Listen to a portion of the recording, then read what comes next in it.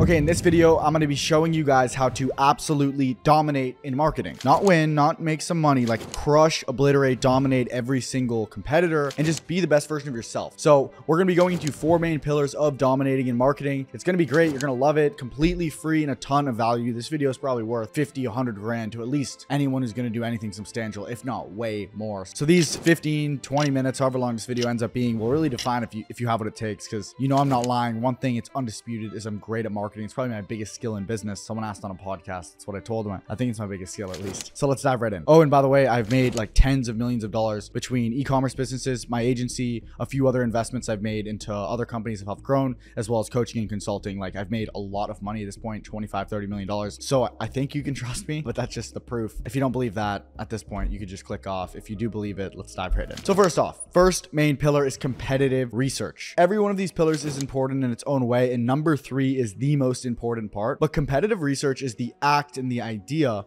of finding competition, finding competitors doing exactly what you're doing, ideally at scale. They're already spending money, they're actively running ads. You can see what's working right now. What that's going to do is give you one, every answer ever. I say all the time, it's like cheating off the smart kid in your class if cheating was allowed. Like if you could cheat on a test and it was allowed, you would cheat on the smart kid. It makes sense because you know all his answers are right. That's what I would do at least. So if you can do that legally in business, why wouldn't you? Look at any successful business ever. Amazon modeled a lot of the things Walmart did. When Walmart was starting off, he was flying to Mexico to see why the shelves were holding so much more inventory. Little tip that it was like more tightly packed in Mexico because they didn't care about the visuals. The point is, is that your competitors will give you the cheat sheet to winning, especially if they're making money. It's very crucial you don't look at competitors that are broke, poor, or just starting, as then it's going to do exactly the opposite. You're going to be getting information thinking this is good when in reality it's not. So the biggest key to competitive research is looking for people who are actively running ads to a service, to a product, to anything. And if this isn't already known and you aren't aware of it, this four step process can go for anything. This is how to win in marketing in general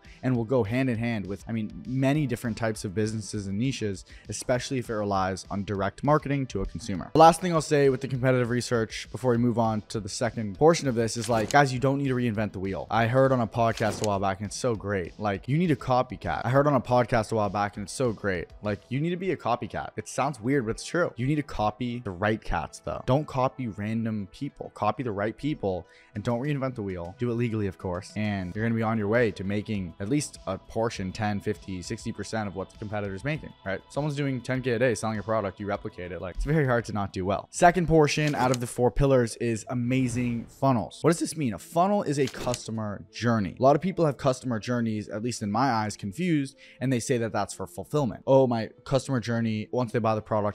No, your customer journey starts the second someone sees you and it ends the second they will never see you again. Like they, they stop using your product or service. The point is, is your customer journey is key. And until they buy, the customer journey is a very fragile point. As if it's bad, you're to lose money. On the fulfillment side, it's very important to obviously deliver a good product, but it's a little less worrisome as you can normally remediate any issue. If they're unsatisfied, you can talk to them, figure out the issue, fix it. You're not going to lose money. But on the front end, if your funnel when you're selling is a problem, you're screwed because it doesn't matter if you run the best ad on the planet. If your funnel doesn't sell, you're screwed. So a funnel can be an e-commerce landing page. When they hit your website, they add to cart, buy now, etc. A funnel can be someone who calls every new lead and says, hey, I want you to buy X, Y, and Z product. A funnel can be showing up to their address and selling them door to door.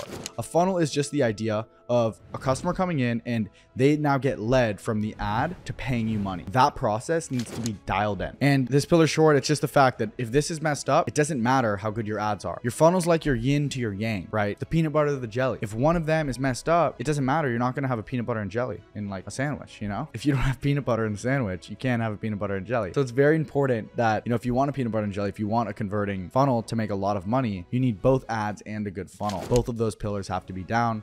And the funnel is just a component of ads I wanted to mention here because again, you could have great ads, but if your funnel sucks, it doesn't matter. So that's that's the second pillar. Let's move on to number three, which is my favorite and most important pillar. Pillar number three, ads creation. This is where everyone goes wrong. And it's my favorite pillar because it matters the most. The same way where I said if funnel doesn't work, you're screwed. The same thing for ads. You can have an amazing funnel, but if your ads suck, obviously you're not going to win. That's why you guys are watching this video to crush ads and marketing. The issue is, is the ad video itself. It's one of the biggest pillars when you're when you're running ads. A lot of people like the best strategy, day parting, budget splitting, CBO, ABO, all this stuff. But you realize that it all does not matter like a creative, the actual video itself. And why I'm mentioning this is because you don't want to mess this up. And if you're a beginner, it's crucial that you get this outsourced to someone who can be getting you great creatives. When I was a bit younger and a bit more novice, myself and I'd recommend to people to make their own ads. But at this point, I just don't. You can get Fiverr editors online who can scrap clips together and make you ads quickly. And one of my favorite things to do, especially if you're an ecom, is work with viral ecom ads. It's a company I partnered up with. I know Noah. They're great people that have been in the space for an extremely long time. And what's great about them is for like extremely cheap prices, they can make you ads in a variety of different niches, worlds. So I highly recommend you guys click the link in the description. There's a discount code and a way to work with viral ecom ads.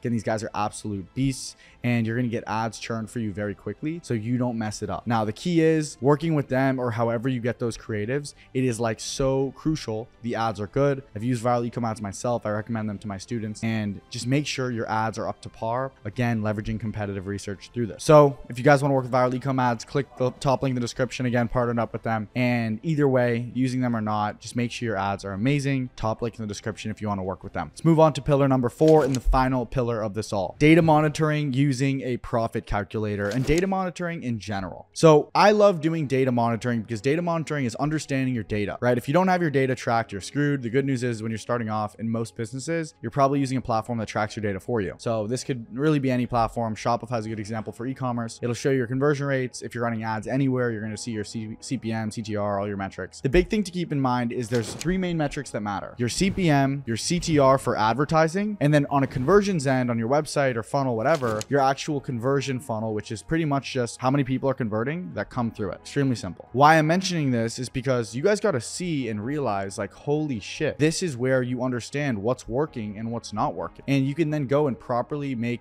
decisions, changes, etc. based on what you're seeing. If you're seeing your website conversion rate sucks, what does that mean? You need to fix it. You need to find the bottleneck in your funnel, whether whether it's okay, people are clicking on the site but not adding to cart. People are clicking on the site, adding to cart but not checking out because my shipping rates are messed up. Maybe if you're in a sales situation, your closer sucks. The point is, is data monitoring is crucial to understand what is and is not working. The more data, the better. But the big three is CPM, CTR, and conversion rate. Keep in mind, CPM and CTR are the biggest ad metrics. Every other metric of ads is based off of those two, other than I guess your budget and total spend. But you know, your, your cost per click, a, a lot of these other metrics that you guys know, especially if you're a beginner, are based off of those. So really just look at CPM and CTR. Once you get more advanced, you could dabble in the other ones. But again, most of them are, are related off of that. And that's pretty much it. I use a Google Sheet for this. By the way, I have a, a calculator which calculates what I type in my CPM, I type in my CTR, I type in my conversion rates, and you, I have this for every business. And then it tells me, okay, with X ad spend, I have X revenue, X profit, etc. And then you could build projections, add in your expenses, etc. So you could really get a good projection and idea for, hey, if I do this, what am I going to get out of it? And you can make a lot of fucking money. But that's pretty much it. With these four pillars, like it's so hard to not win in marketing. And if you enjoyed this video, you have other ideas and really just any comment, show some love, read every comment myself, my, my team as well. Uh, we try to reply to most of them. I hope you guys enjoyed and loved it. Again, shout out Viral Ecom Ads. They're absolute beasts when it comes to ad creation. I highly recommend you check them out in the top link in the description. I'll see you guys in the next video. Peace.